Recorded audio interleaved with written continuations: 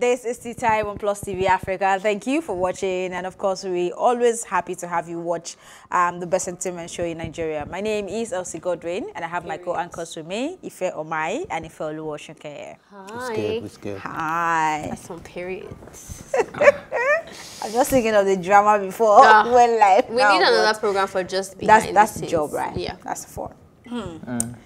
Okay, so The Weeknd hopes to create a whole album for female artists. He admits he often writes for a character he has created and his alter egos are not always politically correct.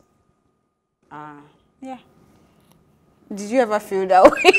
um, his, his, his songs were not okay there are a few singles that i went back to look for because the ones After that i yes because okay. the ones i listened to mm -hmm. were just bad boy they're just sexual. Yeah, yeah, yeah. They're just that. I wouldn't say that they're offensive. Let, let me put it that way. But he's not even complaining about being offensive. He was talking about being politically correct. And right now, being politically correct is being very sensitive to people's mm. feelings. So I can understand that. But I went and looked at another song. I forgot what it's called now. Jesus.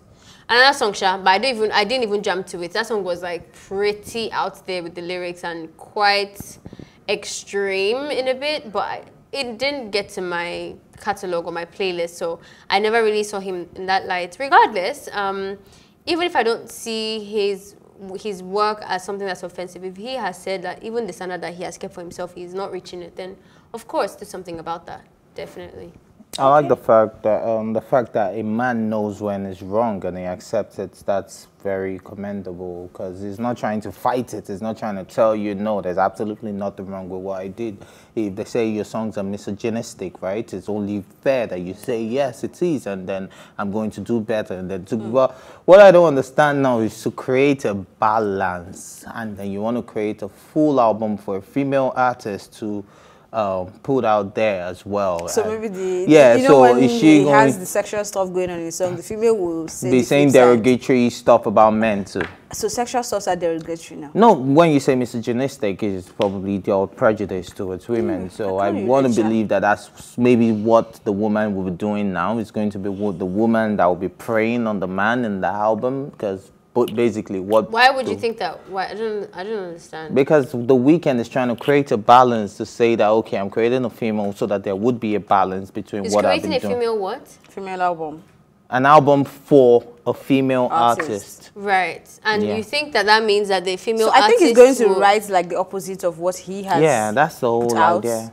I don't know. I mean we're just that's guessing. the whole like not not even guessing. That's the whole idea of the album. That, that he's going to be singing from a female perspective. He, he'll he's be writing. Singing, he's, not he's writing singing, it for like creating. If you're if you're an artist right mm -hmm. now, I'm the Weeknd. I'm making an album for you. I'll write all the lyrics. I'll teach you how to sing it. Yours is just to execute the singing. I hope that's not what he means because that's. Oh, very... uh, do you expect the Weeknd to now start singing like a woman? I thought he was going to sing like for females.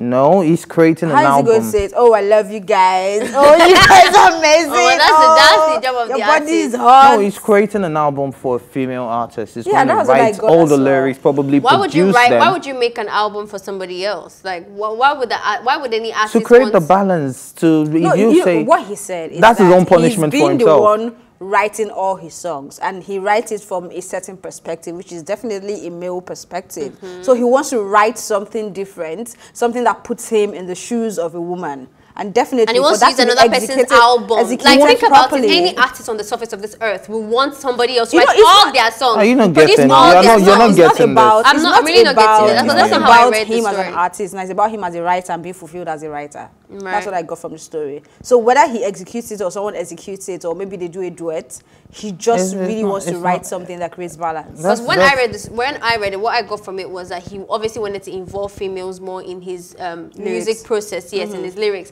If he's writing for the women, if he's writing positively, or if he's um, um, um, what's it called, collaborating with other female artists. But the idea doesn't. It, what your people are saying to me doesn't make any sense. Do you know what? If it's saying if, if that was it, the headline will the Weeknd wants to create create an album for female audience or fans or something, not Just for a female female artist, not artist. for- Did you read the headline? Yeah, and the album as well. Yeah. Yeah, the The word album, for a female artist. For the a album. female artist. Well, we'll So- see how that plays out. So I'm definitely looking forward to what his mind will do on um, paper. So I want to know what he can do. Mm. And I want to know the he's done a artist that's going to say that she does not want any involvement in her own album and she wants to give everything to Wiz- Weeknd so he can Yeah, write the Your yeah. music. delivery is enough involvement already. You know that people actually have an album and they don't necessarily You know have to write their whole song. then you Exactly. give There the are entire- you give- and you give that the you entire don't album write to one anything. person. There are albums that He some can- people oh, don't oh, write. It might, okay, I get a what thing. you're saying. It might you. not be one person, like different female artists, but then it could be what says it cannot be one person. Because then that's that's a Weeknd's album, not her album anymore. But who is executing it? It's it's going to be he a said he's collaboration, writing a it joint for project. the person. If you, as the artist, now decide to come out and say, "Oh, the Weeknd wrote this for me," it's your choice, or maybe it's part of the Do deal. you think there are artists or there is a, a good vocalist now that the Weeknd will reach out to, to say, I have this amazing project, these songs, this producer, and I want let- you let- let to be the face of that project and, and execute it, and the person will say no? I don't say I don't know how you can. For me, maybe it's because it's the hundred percent sole authority of writing all the songs on the album that that is a bit weird to me because Okay. then it feels like it's more about Weeknd than anybody else. If you say he wants to start collaborating, It's about him. If the person is that amazing, the person writes their own And album. besides, that's, that's not even our call. That's his agreements with the person. Yeah. If the Of of course, it's not my Be call; it's an opinion. yeah, I know. But that's what we're Okay, saying. while we we're wait for the same. this, this album to drop, hopefully to come soon. I'm sure it's not a 2020 thing. Hopefully 2021, I don't know. But moving on real quick, the Los Angeles City News reports that movie director Roman Polanski, who was expelled from the Academy of Motion Pictures Arts and Sciences over charges of unlawful sex with a 13-year-old girl on Tuesday, lost a court bid to be reinstated as a member. He had argued in a civil lawsuit that he was denied due process by the Academy when he decided to expel him under a code of conduct drawn up in the response to sexual misconduct allegations against dozens of men in the entertainment industry. Polanski was expelled from the Academy along with comedian Bill Cosby, who was convicted in 2018 um, of drugging and raping a woman in 2004. The Academy had also expelled film producer Harvey Weinstein in 2017. Oh, So because he wasn't convicted, I guess. I guess. Yeah. That's what I took from the story. Maybe it's because he wasn't convicted. I would like to assume that they cared about that type of stuff. They already started with the notion that they cared about, you know, having the right people on board by expelling those people who are associated to that to begin with. There's still a lot of organizations or bodies that these people, Bill Cosby and Harvey, are still on and they don't really care. So for me, it's, what I got was that if they started with that in, in, intention, then I don't want to question that. So if they're going to then ask the person to come back, um, maybe there's something behind the scenes of as to why that person has been cleared.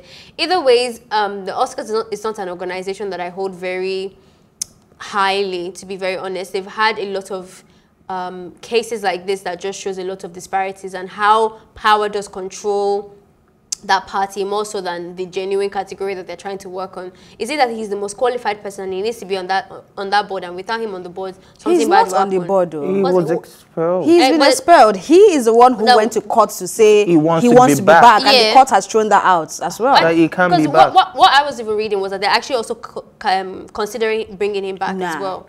Uh, did you see? I didn't see that. No, they didn't. They're not that. considering that consideration. In fact, a, from a statement from the Oscars, I mean the Academy, they're saying that they are not even expecting him to go to challenge um, Yeah. this ruling at all if he's because in his right for me. I was thinking, I, I know, I know the Oscars very well when it comes to things like this because we've boyc- there's many times that they've boycotted them in terms of racial disparities. Same thing happened where they still go ahead and do things like that. So I don't know. No, this is a different case entirely. Well, that's the more reason why I'm glad about this decision Yeah. by the Oscars because of the racial disparity, and we know that it's a white supreme Dominated, yeah. um, dominated um, body, right? Mm-hmm. And um, they are not being biased by saying that oh, because this person is white, this person was never convicted. We're going to bring this person back. Back, They yeah. are saying it that look, regardless of what it is, you're not convicted, and I still And you've not proven yourself innocent Yeah, anyway. I'm- and besides, he's acting like a guilty man. He ran away to to France since like 1970 something, and he hasn't been back in the U.S. even though he won the Oscars.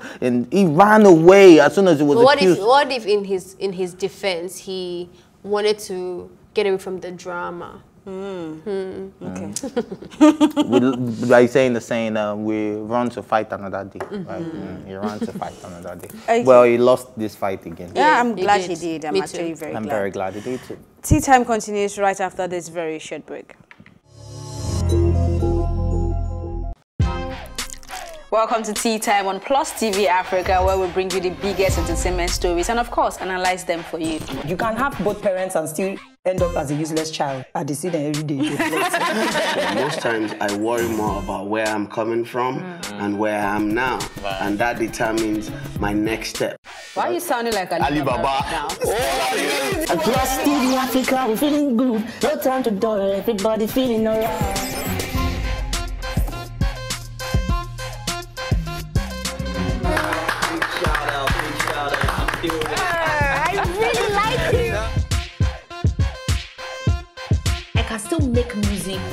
People are still buying. Sometimes I look myself minimal eye. oh. Hmm. Akpala music is for mature minded people. I got DMs sometimes from Malawi, like, Sleeping early.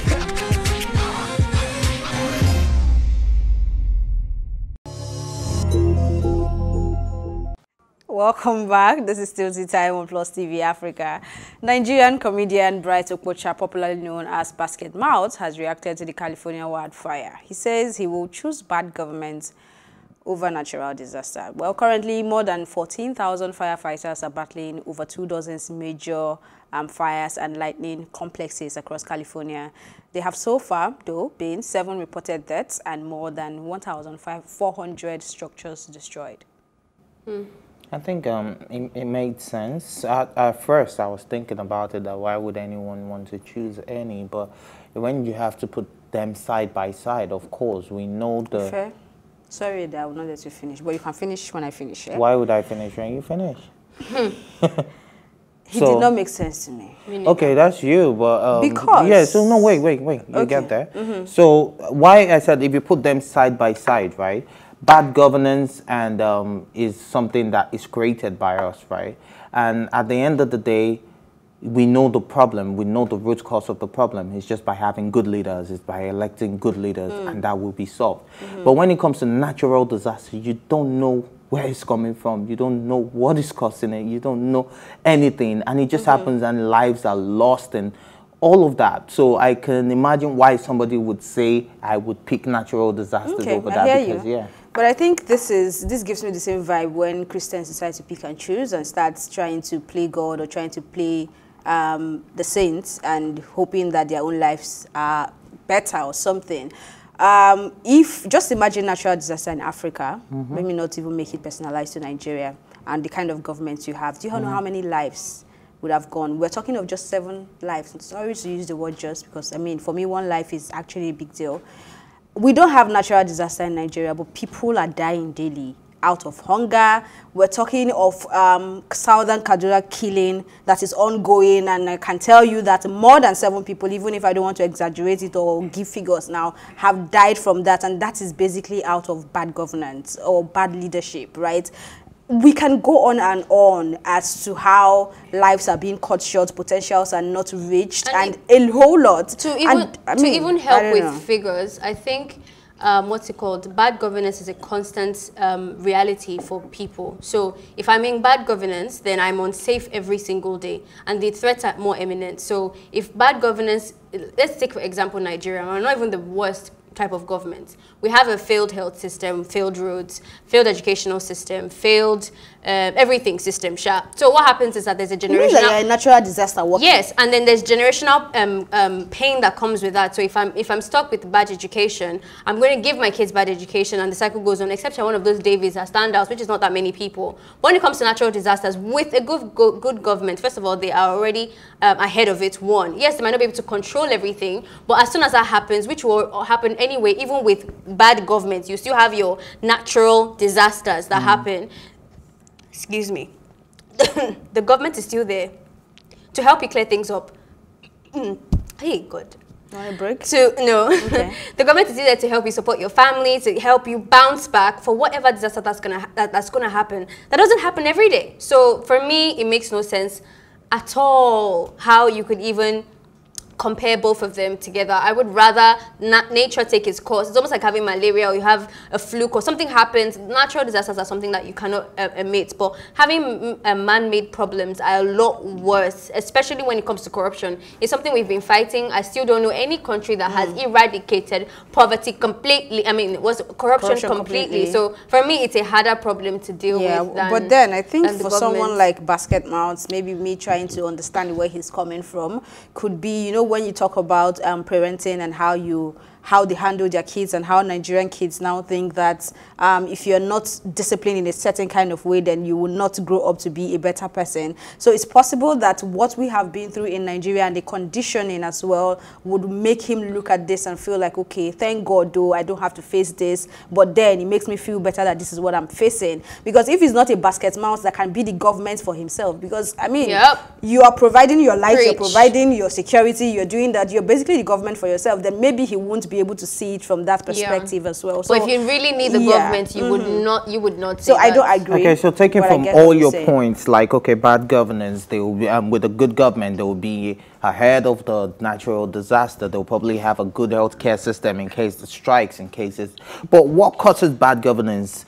The people, Mm. right? The people who elect the wrong leaders, the greedy ones will Is it because by electing? Wait, wait, it's, about, it's the greedy ones who because of um, one bag of rice sell their votes and all of that. Really? One- That's what causes it's our bad fault government. that's what makes us elect wrong people, especially So you when think you Okay, wait, hold on. Let me agree that's what makes it. So, what made a person see one bag of rice, let's put it that way, as a big deal, if not for the poverty that has been created? So, also it's to control the minds of these people to see one cup of, we are even going to fight, it's not one bag of rice, one kolo of rice as a big deal. Well, like I was saying, the people are the ones to blame when it comes to bad governance. Okay. Natural disaster is God made. We can't really question God. Oh, we right? can. Yeah, right. Mm. We can't really question God. But, That don't makes forget that just seven sense, yeah. people that have died in this but wait, but bad governance is caused by the people. We are the ones that would change the government to be a good one. So when we're putting it side by side, I What would is- also okay, go okay, with okay, bad governance uh, let's say- let's- than a let natural let me disaster agree. where I don't know the Okay, extreme in which it to will go thing, when I it would don't. come. Let me agree to that thing that you just Yeah. said, right? But the impact of both of them, which is worse. The impact of both Yes. of them. So we will I'm not talking about who caused it, who didn't cause it, whatever. The impact of a bad government. Look at look, look at Nigeria for Okay. example, and then look at another country that has so, what You're is to look at Nigeria and look at California. yes, what is what the impact of both of them, which is worse for With you? bad governance, right? You can see that we Impact still, now, I'm not talking yeah, about I know. I know, I know. You can see that we still make a way for ourselves, one way or another. We How? still, we still survive. We still live. We still do this thing. But with natural disaster, the rich, the poor, the lame, the blind, the sick, everybody is affected. Do you understand? But it doesn't mean that if you are poor today, you cannot be alleviated from your poverty tomorrow. That is the question. So, how will bad governance make that happen? How would Or bad let government? that ever I'm saying that it's just a working thing. As long as you're working, as long sound- as you're yeah, grinding. that- like I think what you said is really important, and, and I've, I've, I just saw the point manifest because if you did not have privilege to be able to say you get yourself out of it, you will have never made that statement. Because there's quite a lot of people that let me just take human trafficking. Let me take human with trafficking for example. If people who are stuck in the who are victims of human trafficking, that didn't have a choice to get out of that, they'll have never never made that statement to say the rather something that God. We cannot blame God, so we rather that one over the fact that Okay, yeah, hunger and not, no, poverty no, has don't, don't make it Let look me- like my, my point is insensitive right now because that's not the whole point. Because there are also people who have been into human trafficking and have escaped, right? And Okay, have, and you're making the themselves point. It's not about and they've made and they've is made worse, and the they've made themselves Not the super better. story of it. It's not the one that gets out of natural disaster. What about? I'm not. I'm saying what, if you what, what look, if I? as, when I started, I said I wouldn't even choose any. Do you understand? But I said You if I have to to put them side by what- side, That's the basically, Conversation. that's the conversation, and that's what Basketmouth is saying, and that's what we're talking about. That having that mindset as well is a problem because you you are not. It, it it feels like you're being. I'm sorry to use the word insensitive to the plight of people that are less privileged, over, a, suffering over a situation that you can't control. that can be avoided. Ha. No. It's it's giving excuses to bad governance. It's giving excuses to bad behavior, and you can only do that when that person's bad behavior isn't suffocate, isn't pressing your neck. if you expect these these people, because I, can- I can give the same um, narration that yeah, people have escaped um, what's it called natural natural disasters. The way it is in America, they start giving you heads up. They start to clear the place and everything. Is most of the time it's cases that are Because so science and technology has unavoidable made it to do that that, and then happen. there's so much there's um, also called immediate um, uh, medical care that's given to you there's support. You cannot compare that to everyday suffering. Do you know people run to lagos on a daily basis to avoid child marriages to avoid um, um, what's it called? Some serious plights because some people are pocketing. No mm-mm. it's even of it's not Okay, um, that's how we wrap up this episode of Tea Time. Thank you for watching. And please, we definitely want to hear your opinion on this one. Please send them via WhatsApp to 09065719 or tweet at us at Plus TV Africa. Also, catch up on this conversation and all exclusive content by visiting and subscribing to our YouTube channel at Plus TV Africa. Do watch Tea Time on R2 TV and in London on Ben Television. My thank you as always go to my co-anchors Ife Omai and Ifeoluwa Osunkeye and the entire production team. Thank you for watching Plus TV Africa's Tea Time. My name is Elsie Godwin. Do Stay safe.